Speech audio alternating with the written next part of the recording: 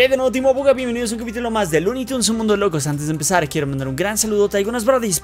No olviden suscribirse y darle a me gusta para no perderse las demás cosas genialosas. Y llegó el día de ver los eventos de la temporada 16, que está a punto de comenzar. Así que vamos a darle. Bueno, la primera cosa súper importante es que van a quitar los emblemas de chiflados. Creo que se llaman así en español, los Crest of Mayhem, la tienda de emblemas, pues... Así que debemos gastarlos ahora o pues ya nunca. Y en la siguiente cosa importante nos ponen que vamos a poder obtener este, en los dos primeros eventos del prisionero Rocky y de Moxie. Eh, libros de libertad para que nos van a ayudar durante el evento de Lola Libertad. Ya spoileé todo lo del video, pero bueno, vamos igual a ver los detalles. Eh, pues bueno, este es el resumen de esta temporada 16 del Mundo de Locos. En la semana 1 tendremos entonces al Rocky prisionero. En la semana 2 estará el Moxie prisionero. Y en la 3 llegará Lola Libertadora o como le vayan a poner. En la semana 4 ya estamos acostumbrados a la semana cósmica. Y durante todo esto va a haber un pase legendario super especial de personajes, ya no nuevos en esta ocasión, será de este Lucas Astrofaraón y me parece del Dr. Lucas. Para sus estrellas cósmicas igual, así que bastante interesantes. Y bueno, ahora vamos con las fechas. El primer evento de esta nueva temporada 16 es nada más y nada menos que el prisionero Rocky, el apoyo épico de la ciudad, que será del 22 de junio al 29. Ahí tenemos su diseño, bastante genial, ya sabemos lo que hace y la verdad que se ve prometedor el equipo hasta el momento.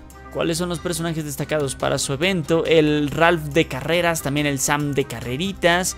Eh, ok, también los de cuentos de hadas, los, todos los personajes disponibles de cuentos de hadas. También están los hombres alegres, los cibernéticos, están los, este, ok, los de fútbol americano, los atletas, pues el siguiente evento después de ese será el prisionero Moxie, el defensor épico del equipo, también de la ciudad. Este evento será del 29 de junio al 7 de julio. Ahí tenemos su diseño, yo no lo había visto bien, así que está bastante cool.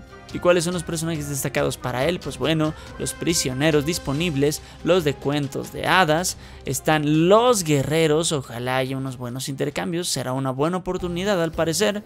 También están este, los bandidos polares, si no compraron el pase, ahí lo van a poder subir un poquito más a ese equipo y los de la ópera y también las abominaciones para terminar y todas las abominaciones. Ahora la personaje que en lo personal me llama muchísimo la atención es Lola Libertadora, la defensora legendaria, la personaje legendaria de esta temporada, de la ciudad igual. Fue una temporada de la ciudad y pues va a llegar el 6 de julio, del 6 al 13 de julio su evento. El símbolo de lo que los personajes de la prisión desean la libertad. Y bueno, para su evento necesitaremos a los samuráis, también al equipo Victoria y a los aristócratas, los de las fiestas, el holiday, el este, el box irlandés, el Spirit Calavera, el Silvestre Cohete y el Coyote Cohete. Y esos son los destacados. Espero tener suerte. Tristemente solo tengo a los aristócratas para que me ayuden con ella. Pero bueno, ya veremos qué tal se pone. Y bueno, el evento cósmico llegará el 13 de julio, del 13 al 20 de julio. Claro, para las estrellas cósmicas y más piecitas de los personajes destacados de esta temporada. Y unos cuantos más por ahí. Ahí veo a los piratas, veo también a los antihéroes. Eh, veo a los genios y veo también de nuevo a los cuentos de hadas. Así que es eso. Y al final nos ponen lo del pase legendario que estará disponible del 26 de junio al 23 de julio. Y vamos a poder estar juntando piezas del Lucas Astro Faraón y del Dr. Duffy. Y no solo piezas de ellos, como les dije al inicio. También se van a poder obtener, no sé de qué manera, pues, las estrellas cósmicas de 7 de esos personajes. Está potente eso. 10 likes. Y pues ¿Cuál es el evento que más les llama la atención, Team? Déjenlo en los comentarios. Y eso no es todo, Team Uga Buga. Aguanten un poquito más porque los brodis de Balloon Society subieron que ya estará el rework de las stats de las abominaciones. Así que bastante cool. Ya, ya otra vez el Gossamer tendrá relevancia en el juego. La verdad no sé hasta que le hagan un rework de sus habilidades. Sí sé, tristemente creo que no va a cambiar mucho. Pero bueno, por lo menos le dieron un poquito más de poder en general a estos personajes que ya les hacía falta. Son personajes bastante viejos. El Correcamino Redivivo, el Tayokai, el Lopad. Y pues, obviamente de que estoy más feliz es del Gossamer, de nuestro querido Gossamer. Así que ¿Qué piensan de esto? También llegó la hora de afilar las espadas y de preparar esos puños porque los samurai tendrán igual su rework. Bufeo pues de estos personajes aquí le ponen. Los van a mejorar y eso me alegra muchísimo porque siento que les hacía falta un poquito.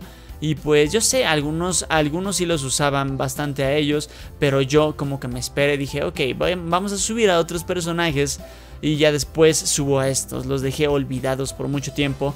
Pero desde hoy ya empezaré a tunear a estos personajes, a ponerles unos buenos artilugios. Igual en videos posteriores les estaré enseñando cómo van, qué artilugios les voy a estar poniendo.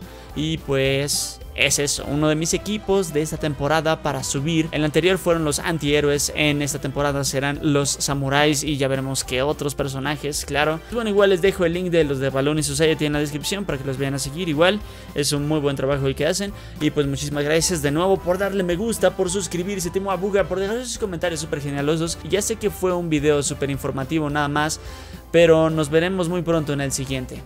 Eso es todo amigos. Bip, bip.